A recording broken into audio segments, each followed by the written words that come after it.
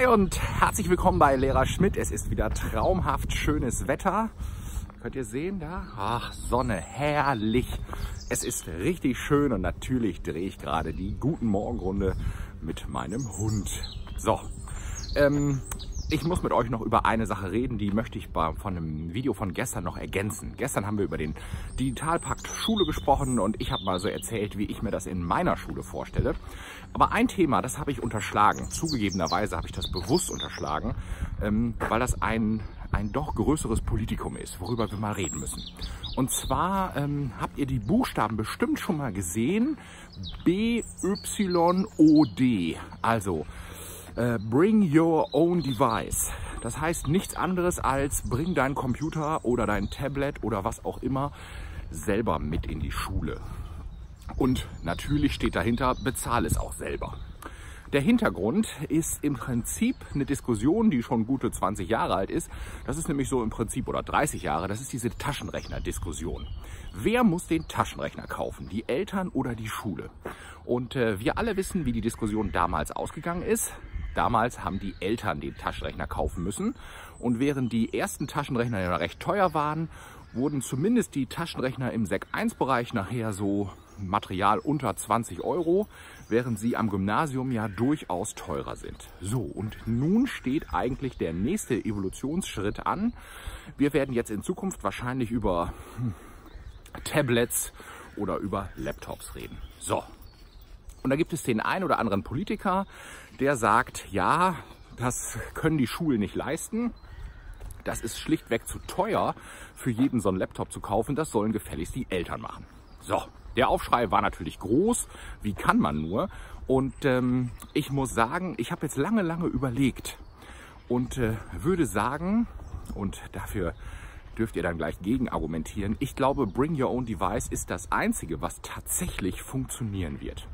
Und ähm, ich habe mir da gestern ein paar Gedanken zugemacht, die will ich euch mal erzählen. Mein Vorschlag, unabhängig vom Digitalpakt.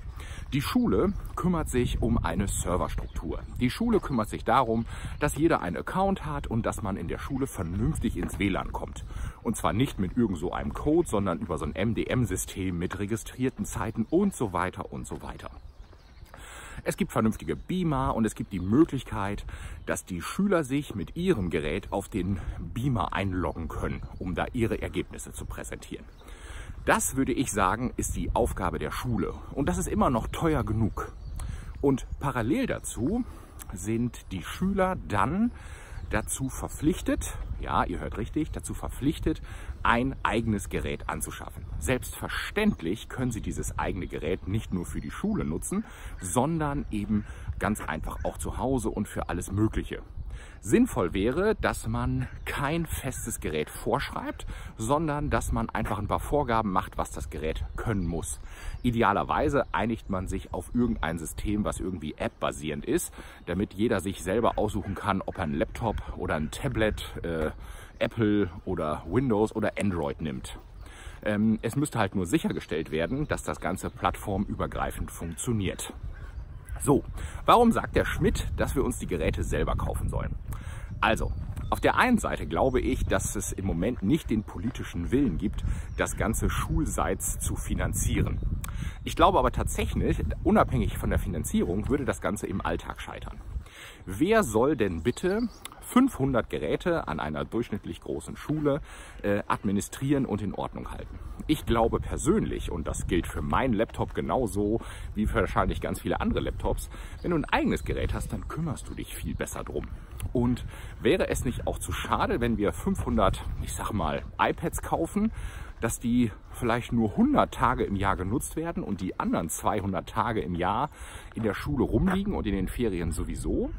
Und wäre denn nicht die Grundidee dieser Digitalisierung, dass man eben lernt, auch sinnvoll mit diesen Geräten umzugehen, dieser, dass man das auch zu Hause machen kann?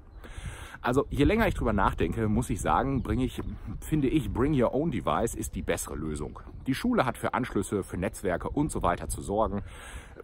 Sie soll meinetwegen auch die Software bezahlen, die Lizenzen besorgen. Finde ich alles richtig. Aber ich finde eben auch, dass die Geräte im eigenen Besitz bleiben sollten. Ähm, ganz einfach, damit sie besser gepflegt werden, gewartet werden oder im Notfall eben auch ausgetauscht werden. So, worüber man natürlich reden muss, ist, dass die Geräte teuer sind. Und wir müssen natürlich auch darüber reden, dass wir Eltern haben, die verschieden viele Kinder haben und verschieden viel verdienen. Also ist die ehrliche Diskussion für mich gar nicht die, ob die Geräte von der Schule gekauft werden müssen oder von jemandem privat, sondern wie man das Ganze finanziert. Eine Idee könnte sein, dass es sowas wie ein jährliches Schulgeld gibt. Und zwar andersrum.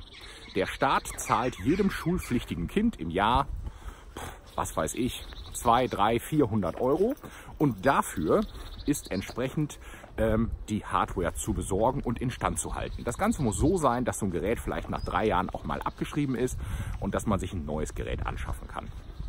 So könnte ich mir das äh, vorstellen. Das Ganze wiederum natürlich abhängig vom Einkommen der Eltern. Wenn die Eltern gut verdienen, dann ist das aus meiner Sicht nicht notwendig. Dann kann man das auch selbst machen. So, das soll meine Einschätzung zu Bring Your Own Device sein. Ich glaube, ich muss mich mal eben einmal drehen. Der Hund hat mich eingewickelt. Äh, ich glaube tatsächlich, dass das auf längerfristige Sicht die einzig mögliche Art der, ja, der Umsetzung ist. Also die andere Seite würde bedeuten, dass jede Schule einen Systemadministrator braucht. Und das halte ich für schlichtweg nicht finanzierbar. Und versteht mich nicht falsch, nicht, dass ich das nicht wollte. Ich glaube nur, dass es im Alltag nicht funktioniert. Und zwar einmal die Finanzierung nicht und einmal tatsächlich das Technische nicht. Ist jeder selber verantwortlich, funktioniert es in der Regel besser. Das hat beim Taschenrechner schon funktioniert und ich glaube, das wird bei der Digitalisierung auch funktionieren. Und grundsätzlich davon ab, ich glaube, egal wie wir alle einzeln zur Digitalisierung stehen, ich glaube, wir alle müssen anerkennen, wir werden sie nicht aufhalten. Und wenn wir unsere Kinder vernünftig vorbereiten wollen, dann müssen wir damit einfach anfangen. Und klar wird es Fehler geben, klar wird es Probleme geben, aber die müssen wir eben beheben. So, das soll meine Meinung dazu gewesen sein. Okay, das war's.